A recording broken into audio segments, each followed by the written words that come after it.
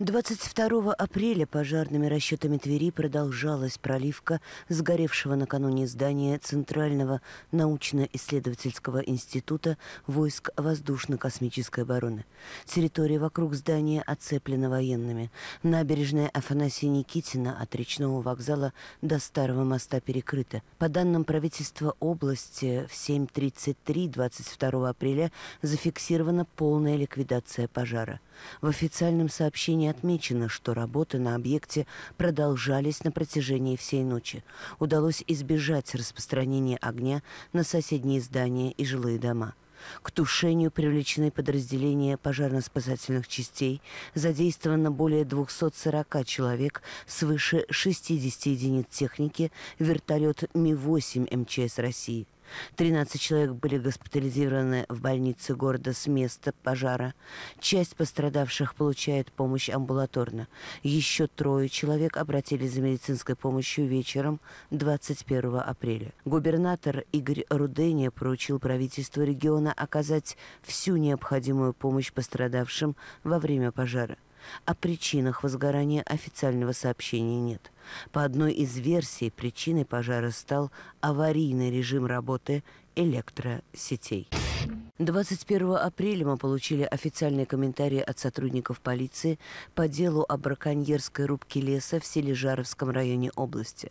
Как мы сообщали, силовики зафиксировали в лесу работу нескольких бригад. В рамках расследования уголовного дела полиция допросила более 10 свидетелей.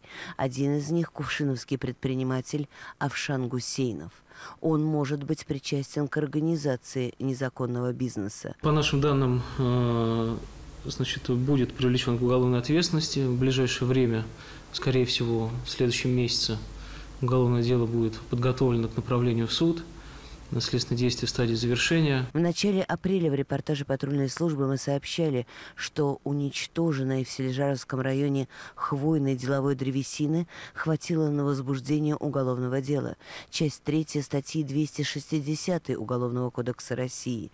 Незаконная рубка лесных насаждений в особо крупном размере группы лиц по предварительному сговору. Ущерб Осташковскому городскому округу, нанесенный черными лесорубами, составил почти 3 миллиона рублей. Вырубка леса, нам дали участок, сказали пилить, в Куба 350 рублей. Браконьерский бизнес был поставлен на поток. Задействовался целый автопарк спецтехники, грузовики для перевозки, трактора – все делалось оперативно, чтобы успеть. Для этого применялась самая современная техника, а в лесу проложили многокилометровые автодороги. Заготовленная древесина по этим дорогам увозилась в Кувшиновский и Торжокский районы, где и продавалась. Я вправил сам сюда. Документ все у него. Мы следим за ходом расследования этого громкого уголовного дела. Подробнее о борьбе с лесным браконьерством мы расскажем в следующих выпусках программы. Ранним утром 21 апреля при въезде на Восточный мост со стороны улицы Вакжанова перевернулся большегруз «Скания». Лежащий на боку муковоз затруднил движение автотранспорта. «Скания» ни с каким другим автомобилем не столкнулась. Просто водитель большегруза, мужчина 89 -го года рождения, не справился с управлением. В аварии, по данным ГИБДД, никто не пострадал. На место опрокидывания прибыл пожарный расчет. На асфальт вылилась солярка.